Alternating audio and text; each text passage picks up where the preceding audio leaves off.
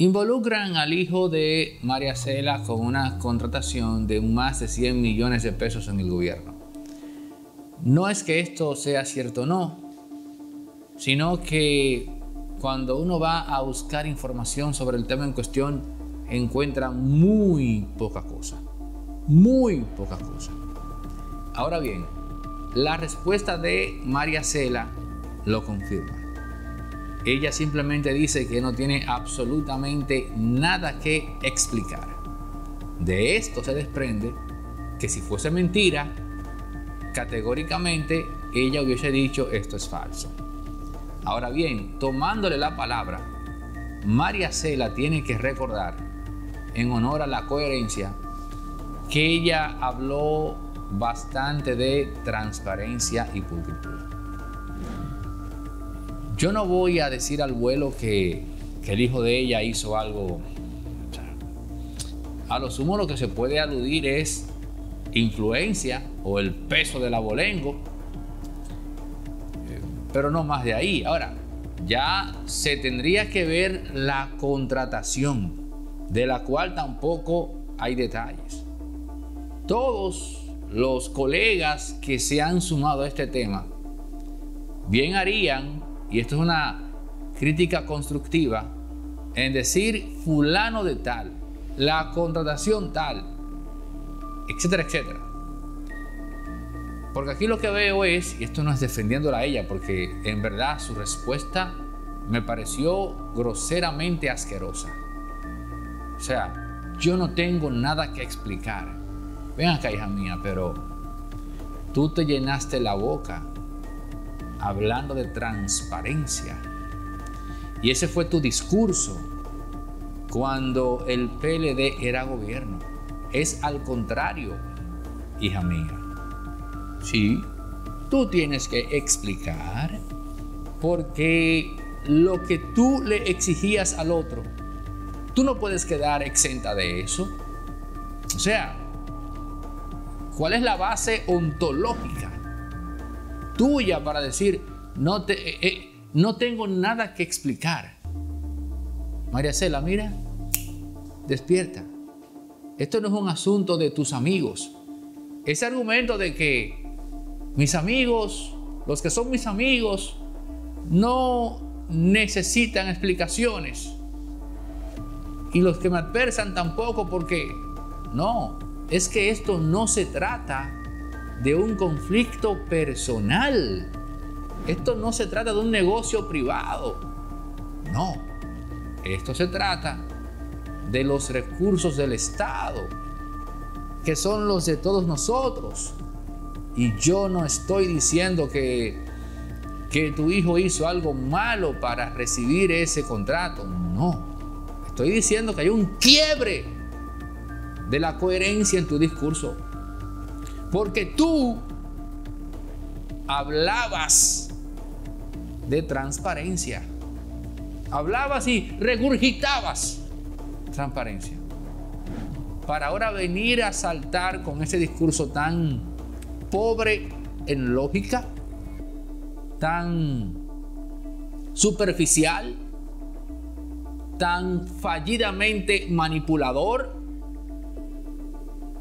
no son tus amigos los que no necesitan explicación.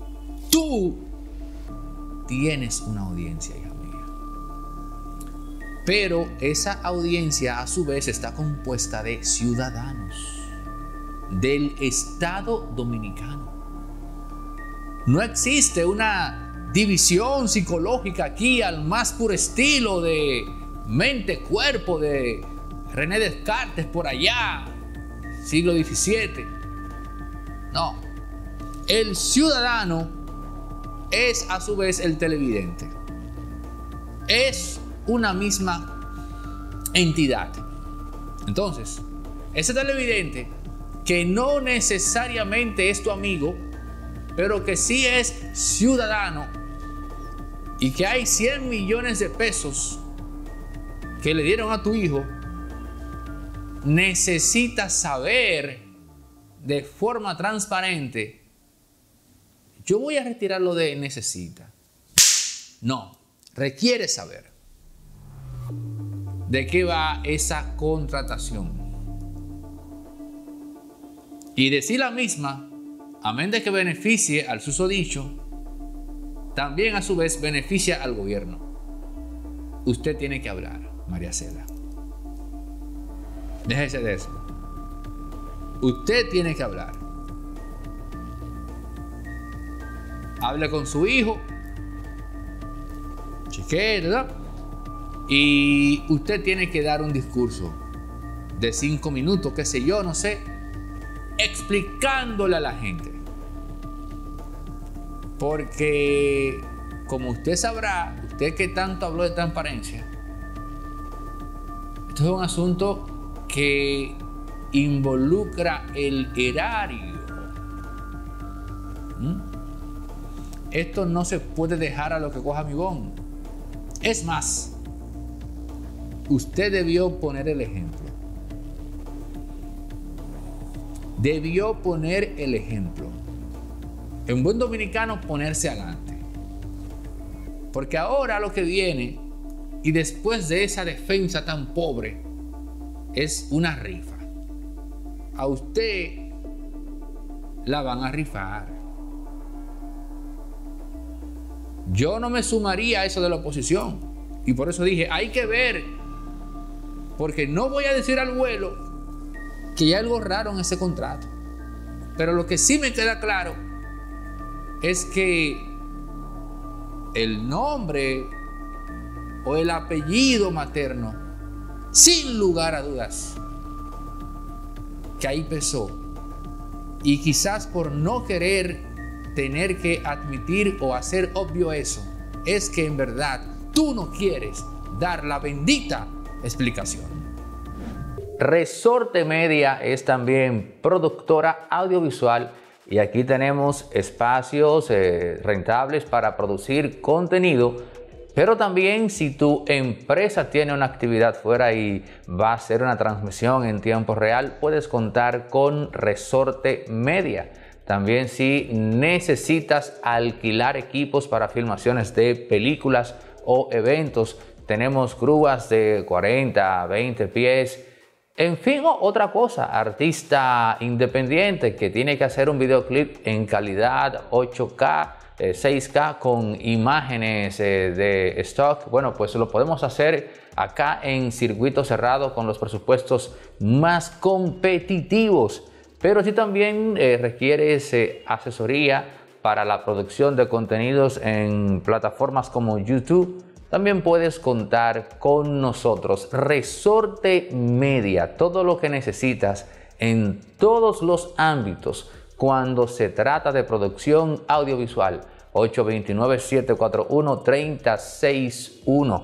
Y otra exhortación muy importante que quiero hacerte, si tienes como meta de principio de año, pues montarte en tu primer carro o cambiar a hacer un switch, bueno, pues mira, te hablo de Centro Electronic RD, marca líder en República Dominicana en la importación de vehículos eléctricos ya sea a nivel individual o para empresas con eh, vehículos medios eh, hasta camiones y también el Avantier que es un auto eléctrico de bajo costo y muy bajo consumo. Y si vas referido por impolíticamente correcto pues tienes un descuento de mil dólares en la compra de cualquier vehículo a nivel empresarial puedes aprovechar esta oferta porque puedes comprar varios vehículos y aprovechar ese descuento de mil dólares en el 829-741-361. Te damos todos los detalles y te ponemos en contacto con Centro Electronic RD acá en el país. Unskian creó la figura de Milei para atacar el gobierno de Macri y atacar precisamente a Marcos Peña, que era el jefe de gabinete de Macri, que era el hombre que tenía muchísimo poder, mi ley, o sea, fue creado y apoyado mediáticamente para atacar a ese hombre. Porque en ese tiempo estaba un esquián peleado con, con Macri. Pero ¿qué pasa ahora? Ahora hay un acercamiento entre Macri y un esquián y Marcos Peña está fuera. Marcos Peña es enemigo de... O sea, el enemigo de mi ley ahora es enemigo de Macri. Fíjate la unión. Y Macri le da el apoyo a Milei. ¿Quién va a gobernar? En, en- en- Además, y yo te voy a decir una cosa, ¿quién va a gobernar? ¿Macri? O hay, hay tres opciones para gobernar. Macri, por lo que hemos En dicho. conjunto. No, no, Macri. ¿Sabes cuál es la segunda opción? Según lo que ha dicho Milei en todo su recorrido de campaña, su hermana. Sí. Su hermana, ella- él dice que Pero mi ayer, hermana es el jefe. pero ayer estaban agarrados de mano y todo. Una cosa medio Bien, rara. ¿tú entiendes? en su hermana tercera agarrado de opción- mano. No, no, no con su novia. En tercera opción, ¿quién va a gobernar en tercera opción? La última opción, Milei, que se decida desatarse, que el loco se le suelte a la hermana y se le suelte a Macri. Si el loco se le suelta y él decide, Como loco, un presidente recién electo y respetuoso. hay que, Se te mira, ve a ti refajo. Vamos a ver, o es loco, es un gran estratega, un gran mentiro- mentiroso, un hombre que eh, empezó a hacerse popular por sus declaraciones en contra de sus padres. Eh, hay entrevistas que lo pueden ver ahí cuando él dice, mis padres para mí no existen. Él dice, pero si ellos van y te piden perdón, eso que... tú-". Dice, no, no, yo, es que no, ¿qué perdón? O sea, no es necesario el perdón, porque es que, es que no existen para mí. Vamos, si eso es verdad, hay un problema terrible psicológicamente ahí. Si es mentira, lo que está es tratando de dar un discurso, ser consono con ese discurso de rebeldía de la juventud, del joven que quiere matar al padre y todo El eso. diablo, ¿no? todo lo malo. Todo para, para conquistar un voto eh, rebelde de la juventud. Dime algo bueno que tú le veas a mi ley. A mi ley, Sí, una cosa buena. Es que tiene que ser bueno, porque tiene que, él tiene que ser, él tiene que tener algo bueno. Él caló en la gente. No, yo lo Sa- sé. Yo se lo pregunto a Maracayo porque él acaba de satanizarlo, todo lo malo. Quiero ver si él tiene la capacidad de ver algo bueno. en No, mí. no, él tiene, él tiene talento para no comunicar. déjalo, Mi, mi hermano, Él es para mí es hermano, un mira, gran mira, comunicador. mira, mira, sí, mira, o sea, gran nosotros, nosotros mira. tenemos demasiada, hemos pasado demasiada experiencia, la hemos vivido nosotros y también la hemos leído. Desde Hitler, cuando tú ves la personalidad de Hitler, Hitler tenía un perro y era obsesionado con el perro. Y no quiero entrar en teoría de la gente que es obsesionada con los animales y que tiene un problema Hay con... doliente aquí. el no, bueno, hay animalismo. Hay animalismo. doliente aquí. Sí, sí. Está bien, ok. Entendí. ese discurso populista lo hemos visto en Chávez, señores. O sea, yo fui seguidor de Chávez. Ah, Seguidor de Chávez. tú Tienes un arrepentimiento de No. haber caído en algo así. No, uno con cambia. Chávez, lo está todo- canalizando todo con mi No ley. diga que arrepentimiento. Todos hemos caído cambia. en Un uno Uno arrepentimiento cambia. tiene. Un arrepentimiento. Todo No, es- no arrepentimiento, es que uno uno tiene- cambia, no es que uno uno es lo que cambia, es. no es que uno cambia, es que No uno- así. no es que uno cambia, es que uno tiene que aprender. Uno tiene que aprender con los trancazos. Argentina va a aprender. Argentina va a aprender. ¿Para aprender qué? Mi hermano, pero que el hoyo en el que está metido Argentina, económicamente hablando, eh, con la inflación más alta, con el problema eco- macroeconómico más difícil en los últimos años, más era que lo lideraba. Entonces, mira tú a mí que van a aprender de lo malo cuando estaban ya en lo malo encharcados.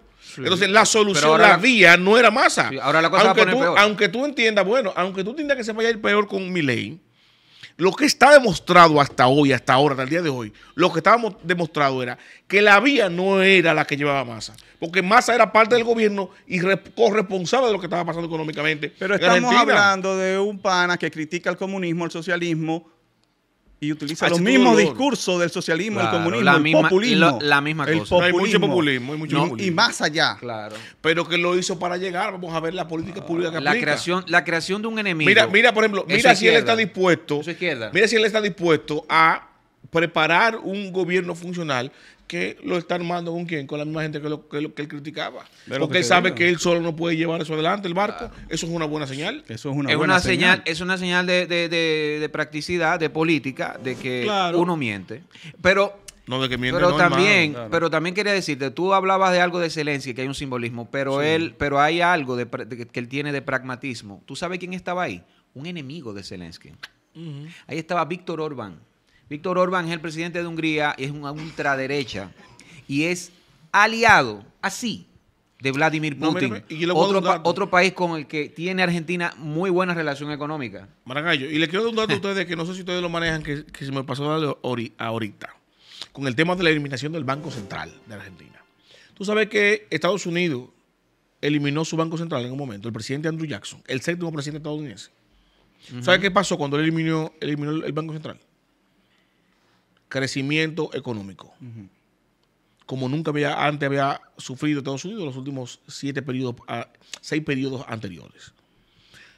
Que de- eventualmente después se restableció y tuvo que regularse, pero el, el efecto inmediato de, la elimina- inmediato de la eliminación del Banco Central en esos años, en 200 años, fue un crecimiento económico Sí, pero ya no, ampliado. eh, ya, ya no, ya, no, o sea, los tiempos son muy diferentes. Bueno, pero yo lo que tú quiero que tú digas a ti, Extremadamente pero diferentes. yo quiero que tú entiendas a ti que la intención no es mala. Pero es anacrónica, es Sí, infuncional la- hoy y, no- en y día. la, y la comparación que él hace con esa Argentina, que fue potencia, que eso es muy entre comillas, no es cierto que fue potencia económica, Argentina, a principios del siglo XX, hace 100 años de eso.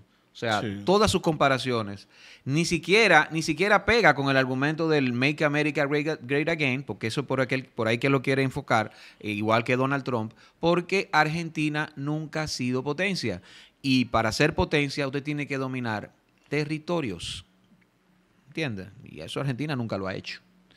Esta es la quinta pata. Mario Herrera, José Maracayo, Edwin Cruz. Recuerden suscribirse, darle like, activar campanita. Sobre todo, me gusta para que nos vean más, para potenciar nuestros contenidos, comentar y todo eso. Tu primer carro es posible con Centro Electronic RD, los pioneros en República Dominicana en vehículos eléctricos. Deshazte de el consumo en combustible fósil y lleva, oigan esto que voy a decir, un consumo promedio de 10 o 15 mil pesos te puede quedar en un mes entre 500 y 1000 pesos si tu vehículo es eléctrico. Pero también Centro Electronic RD tiene, eh, tiene una flotilla vasta, extensa de vehículos para fines corporativos y empresariales. Centro Electronic RD, tu primer vehículo eléctrico totalmente para que la factura del combustible no sea una carga. Y para las empresas, tenemos camiones, tenemos vehículos tipo deliveries, camionetas, en fin, para que también el costo en combustible en grado amplio no sea una carga. Centro Electronic RD, teléfonos en pantalla para más información. Si vas de parte de Impolíticamente Correcto, tienes un descuento de 500 dólares en cada compra. Señores, la farmacia Medicar GBC sigue con su 20% de descuento en todos los medicamentos abiertas de lunes a domingo.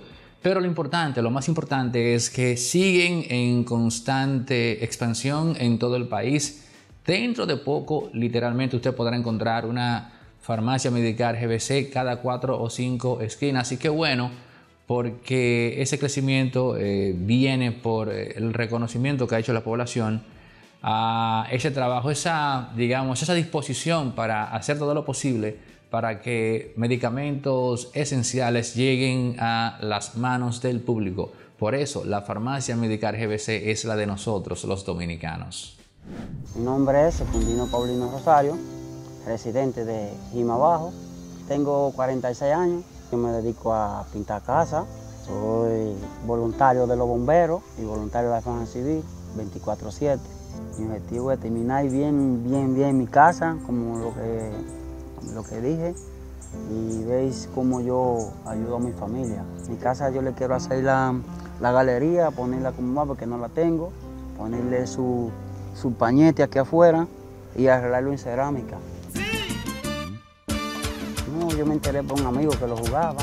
Dice la muchacha, la que me vendió el ticket, juégalo ahora que tú te lo vas a saltar. Y cuando lo jugué, fui afortunado. Si el otodón es que me puede dar a mí para yo hacer y realizar lo que yo quiero, yo tengo que seguirlo jugando.